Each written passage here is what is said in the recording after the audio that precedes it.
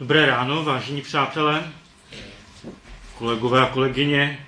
Jsem rád, že jsme se tady dneska mohli sejít nad tématem, eh, který je eh, žhavý a diskutovaný. Eh, budeme se bavit tedy o globálních a lokálních přístupech k ochraně klimatu a součástí toho bude také samozřejmě, jaké možné způsoby zvolit k tomu, abychom buď to eliminovali ty změny, nebo se s tím změnu, nebo se s tím, co eh, se děje, naučili nějakým eh, způsobem žít.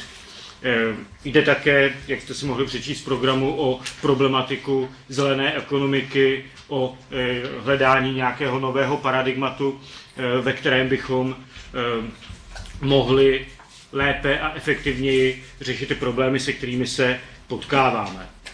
Ivan Ilich už někdy v 70. letech napsal knihu, která se jmenuje Nástroje pro soužití, spolužití, Tools for Conviviality, kde upozorňuje na problém radikálního monopolu. Radikální monopol v jeho pojetí znamená, že si lidé najdou nějakou technologii, které přisoudí e, nějaký úkol a vlastně ta technologie postupně nabude monopolu, který není možné, není možné obejít. Eh, lidé, experti, politici, občané věří, že to je ta jediná možná cesta, eh, kterou se můžeme vydat a jakákoliv alternativa, nebo mnohdy ani ne alternativa, mnohdy jakoby hledání nějakých dalších vedlejších cest, které už byly využity, je experty nebo politiky označováno jako nesmyslné řešení.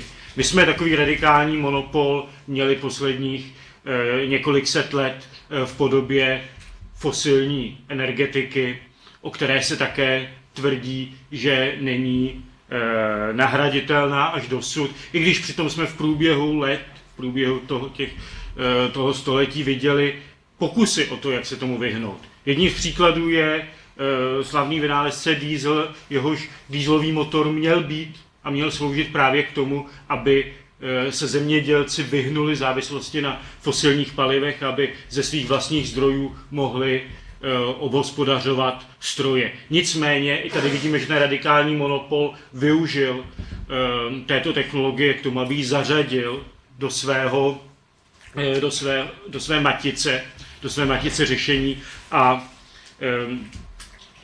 zabránil tak vlastně nějakému dalšímu, nějakému dalšímu rozvoji. V současné době se baví nebo mluvíme o zelené ekonomice eh, na mezinárodních fórech, v OSN, v Evropské unii se to stává, eh, se to stává velmi populární eh, debatu, ale my slyšíme kritiku především ze zemí třetího světa, které s podobnými experimenty mají už velké zkušenosti. Můžeme si připomenout zelenou revoluci, která měla nakrmit svět a výsledkem je obrovská degradace půdy, eh, velké následky eh, na zdraví lidí a tak dále. Eh, takže o tam teď slyšíme nebezpečí, které může být spojeno se zelenou ekonomikou, především v tom novém radikálním monopolu, který by s tím mohl být svázán napojení nových nadnárodních firm na, mm, na tuto technologii a vlastně to, s čím eh, ta původní myšlenka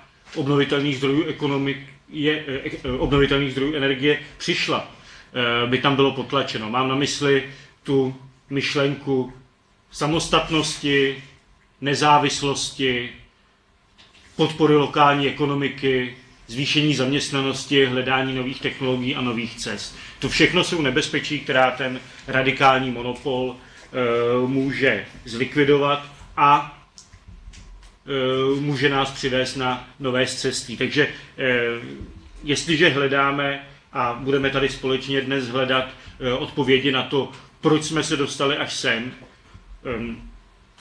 jak se z toho můžeme dostat, jestli máme nějaké cesty, které nás z toho mohou vyvést, nebo jestli ten režim, ať už politický nebo přírodní, ve kterém se nacházíme, Eh, je to, s čím se budeme muset naučit žít. To budou otázky, eh, na které se budeme snažit hledat odpovědi.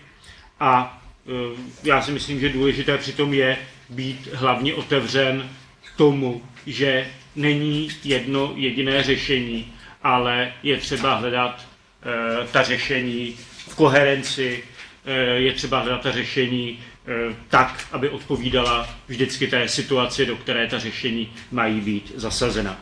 Jako první, jako první z řečníků mám možnost tady uvítat pana Martina Kloze, který je členem výboru pro udržitelnou Eh, pro udržitelnou energetiku Rady vlády pro udržitelný rozvoj. Já bych ho poprosil, aby přednesl úvodní příspěvek a můžeme tedy začít. Děkuji.